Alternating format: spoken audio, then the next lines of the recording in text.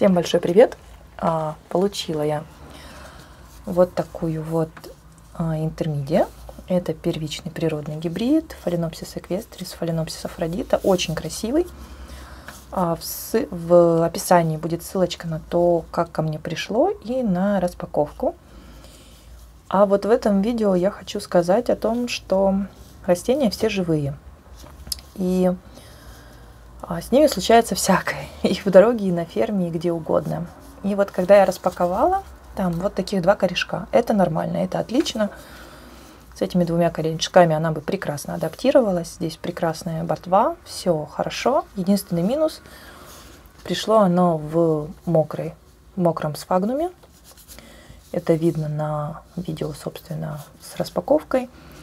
И я сразу же сняла этот сфагнум, и я увидела там вот такую неприятность. Вот. Не откладывая, конечно же, в долгий ящик, я это все отфотографировала и списалась уже с продавцом. К сожалению, сегодня суббота.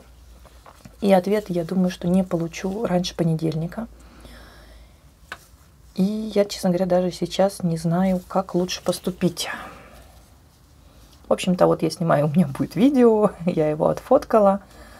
Вот такой треснувший стволик, он черный. Он, правда, был мокрый, выглядел страшнее, сейчас он подсох, и прям большого особо страшной гнили и криминала с одной стороны нету, с другой стороны мне не нравится вот здесь вот оно такое мягкое и темное, и с одной стороны я не хочу вот так вот отрезать это все, потому что вот два корешка, которые бы спасли дело.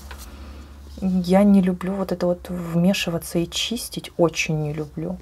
Меня очень подмывает, конечно, вот этот листик оторвать и посмотреть, что под ним. Может, это просто сам этот листик такой. Там дальше ничего криминального. Но а, с этим поставщиком у меня такой первый раз. У меня с ним неприятностей никаких никогда не было. И я на самом деле не знаю, как отреагирует поставщик. И э, двое других, у которых я постоянно беру, заменяют подобные растения и, в общем-то, не просят отсылать назад им вот такие. Э, попросит ли отсылать этот поставщик, я не знаю, и я не знаю, как он отреагирует на мои манипуляции. То есть, с одной стороны, лучше бы не трогать, оставить как есть, и если попросят вернуть, то вот вернуть, и пусть сами решают, что с этим делать. С другой стороны, мне очень, конечно, хочется как-то помочь растению. Ну, однозначно сейчас сажать нет, и опять-таки, повторюсь, я не любительница резать, зачищать и прочее. Единственное, да, что мне хочется, это ну, вот этот лист мне покоя не дает, чтобы посмотреть, какая там под ним шейка. Что вот тут вот темненькая и мягковатая. Вот. Поэтому, так как мало ли что, я, наверное, трогать не буду. Я уже нашла у себя вот такое у меня есть прозрачное ведерко. Я в него положу это все дело. Так вот. И оно там будет лежать. Я его лишний раз трогать не буду, телепать не буду. Может быть, смочу корни, хотя не факт. И буду ждать уже, что мне ответит поставщик. Если поставщик мне ответит, что такое не заменяется, то буду, ну, наверное, буду пробовать спасать. Посмотрим. Ну, будем относиться к этому положительно. Такое на самом деле случается. Это, конечно, всегда обидно. Обидно не потому, что там снова ждать, обидно потому, что может такое, то, что ты хотел, закончиться у того поставщика, и потом придется долго искать снова. Но уже, как говорится, майма шумайму. Будем с этим работать. И пока так, пока будет лежать, пока не буду трогать. С глаз долой из сердца вон. И буду ждать ответа и держать вас в курсе. Первая часть этого видео заканчивается. И когда я получу ответ, я доснимаю и смонтирую уже вторую часть к этому видео. Ждите. Ну что ж, ответили мне орхидеи мира. В общем-то, те, у кого я получала а, вот эту вот мою малышку. Вот она, Orange Lip. Ответили быстро. а, на выходных даже, в общем-то, я им написала, это были как раз выходные, и на выходные же они мне ответили. И это чудо замене не подлежит. Вот.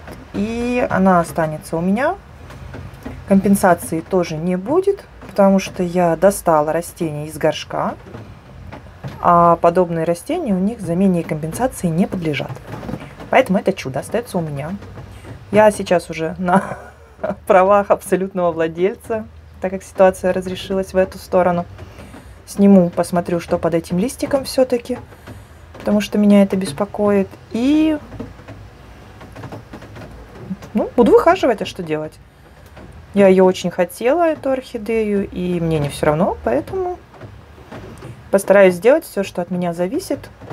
Надеюсь, что шансы есть у этого растения. И надеюсь, что когда-нибудь она меня порадует красивым цветением. А пока дела обстоят вот так. Буду, думаю, снимать ролики о том, как э, у нее идут дела, как она восстанавливается. Если, конечно, будет происходить что-то интересное, роликов будет много. Если будет угасать, то, в общем-то, роликов будет мало. Ну, посмотрим, посмотрим, как оно пойдет. Вот, и, собственно, на этом все. Добавить тут больше нечего. И всем большое спасибо за просмотр. Ставьте лайки, подписывайтесь на канал, делитесь с друзьями. Всем солнечных дней, пышных цветений. Пока-пока.